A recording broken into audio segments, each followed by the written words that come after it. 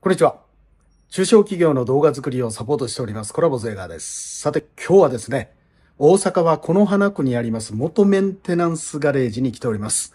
えー、というのも、私の、はい、愛車、このリトルカブを作っていただきました元メンテナンスガレージに、今日はちょうどメンテナンスに来ております。ヘッドライトの、えーライトも切れましたんで、はい、今からちょっといろいろと、お綺麗にしていただきたいと思っております。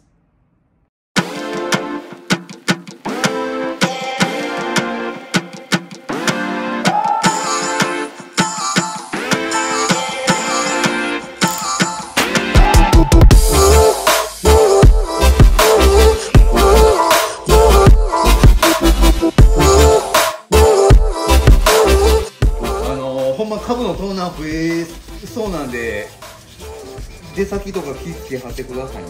ちなみに今株ってどれぐらいなの？リトル株？リトル株。こんな全塗装のこんだけフルカスタムしてたら値段つけられへんけど。ええ。あのー普通のリトル株でももう多分今30万ぐらいはしちゃうので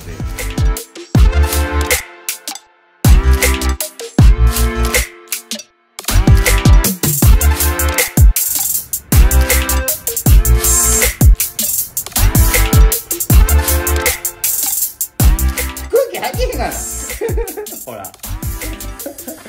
ほとんどゼロじゃないですか。ちゃんと空気入れてくださいよ。うん。後ろも後ろもほら全然入ってないですよ。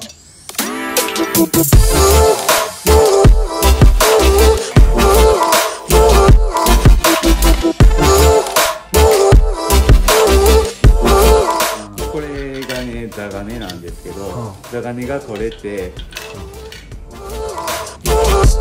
ま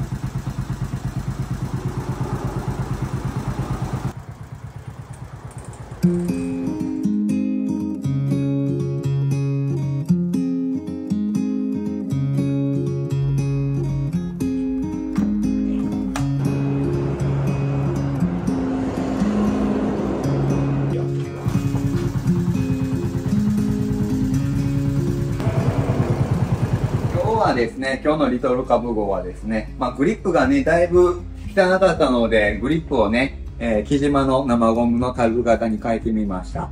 で、あとはヘッドライトのね、玉が、あのーまあちょっと切れてって、壊れてたんでね、そこも直しました。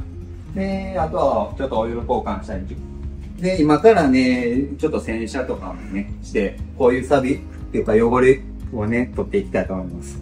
なかなかね、一般の人たちっていうか、なかなか家でね、バイク洗える人も少ないと思うので、うん、なんで、ちょっと、よいしょなんか、まあ、あとはね、もう何がどうこうって言うとね、とりあえずタイヤの空気をね、入れてなさすぎ。もうタイヤの空気入れてください。これとは元へんから。まあ、そうですね。まあまあ、ね、早く、これの子も、サーフィンに行きたいね。次の動画ぐらいではちょっとこう試しでサーフボード乗せてる絵とか撮れたらいいかなと思います。以上です。ありがとうございましたシネマティックモード。はい。ということで今日は元メンテナンスガレージで愛車のリトルカブをメンテナンスしていただきましたそれではまた明日。